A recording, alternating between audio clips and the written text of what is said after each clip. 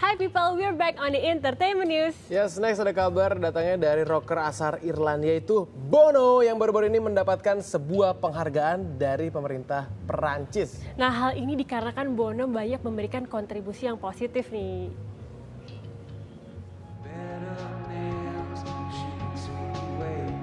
Vokalis grup band legendaris U2, Bono beberapa waktu lalu dianugerahi penghargaan tertinggi dalam bidang kebudayaan oleh pemerintah Prancis.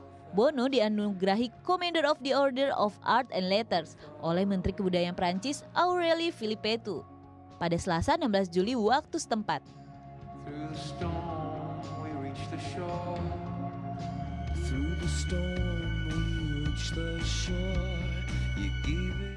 Pria bernama asli Paul Husen ini dinilai telah banyak memberikan kontribusi positif bagi perkembangan musik bersama bandnya dan menggunakan nama besar mereka dalam perjuangan kemanusiaan.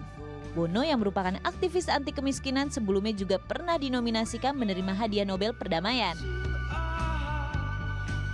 Selain Bono, nama-nama lain yang pernah menerima penghargaan serupa antara lain Shakira, Bob Dylan, Lenny Kravitz, Bruce Willis, dan Sean Connery.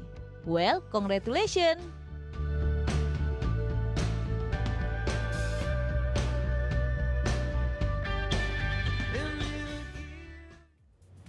No wonders lah ya kalau Bono mendapatkan penghargaan dari pemerintah Prancis itu sih udah pasti. Kenapa? Karena sempat juga Bono mendapatkan julukan kalau Bono can save the world, Bono can change the world karena Bono adalah salah satu musisi top dunia yang bisa mengubah banyak orang dan juga memberikan efek dan juga impact yang benar-benar terasa bagi semuanya. Bukan hanya dunia musik loh, tapi Iya. buat semua orang.